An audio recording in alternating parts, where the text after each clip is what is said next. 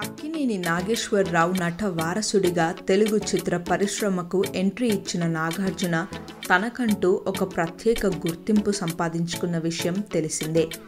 ఎన్నో ఏళ్ళ నుంచి సినిమాలు చేస్తున్నప్పటికీ ఐదు పదుల వయసు దాటిపోయినప్పటికీ ఇప్పటికీ టాలీవుడ్ మన్మధుడుగానే కొనసాగుతున్నారు నాగార్జున. ఎన్నో ఏళ్ళ నుంచి తెలుగు ప్రేక్షకులను అలరిస్తూ ప్రస్తుతం తెలుగు ప్రేక్షకులకు కింగ్ నాగార్జునగా మారిపోయారు. ఇక అక్కినేని కుటుంబం నుంచి నాగార్జున నట వారసులుగా తెలుగు చిత్ర పరిశ్రమకి అక్కినేని అఖిల్ అక్కినేని నాగ చైతన్య పరిచయమైన విషయం తెలిసిందే. అయితే అమల నాగార్జునకు రెండవ భార్య అన్న విషయం ఇప్పటికీ కొంతమంది తెలుగు ప్రేక్షకులకు తెలియదు. అక్కినేని అఖిల్ నాగార్జున అమల దంపతులకు జన్మించాడు.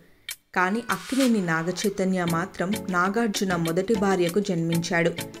అయితే నాగార్జున మొదటి భార్య సీనియర్ హీరో వెంకటేష్ సోదరి లక్ష్మి.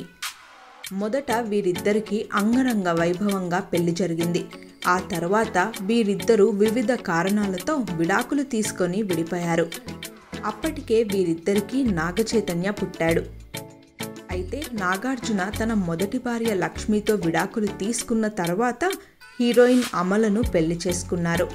ఇక అప్పటి నుంచి ఇప్పటి వరకు అమల నాగార్జునలు అన్యోన్య దంపతులుగా తెలుగు చిత్ర పరిశ్రమలో కొనసాగుతున్నారు. నాగార్జునతో విడిపోయిన తర్వాత నాగార్జున మొదటి భార్య లక్ష్మి కూడా శరత్ అనే వ్యక్తిని పెళ్ళి చేసుకొని అమెరికా వెళ్ళిపోయారు. ఈ క్రమంలోనే అక్కినేని నాగచైతన్య బాధ్యతల్ని మేనమామ అయిన వెంకటేష్ చూసుకున్నారని తెలుగు చిత్ర పరిశ్రమలో టాక్ ఉన్న విషయం తెలిసిందే. ప్రస్తుతం అక్కినేని వారసుడిగా తెలుగు చిత్ర పరిశ్రమలో నాగచైతన్య కొనసాగుతున్నారు. వాస్తవానికి నాగార్జునకు ఆయన భార్యకు పెద్దగా వివాదాలేవి జరగలేదని వారిద్దరూ కూడా మొదటి నుండి ఎంతో కలిసిమెలిసి ఉన్నప్పటికీ ఏవో కొన్ని వ్యక్తిగత కారణాల రీత్యా వారిద్దరూ విడిపోవడం జరిగిందని తెలుస్తుంది. ఇక ఆపై పంతొమ్మిది వందల తొంభై రెండులో అమలను ప్రేమించి వివాహం చేసుకున్నారు నాగార్జున.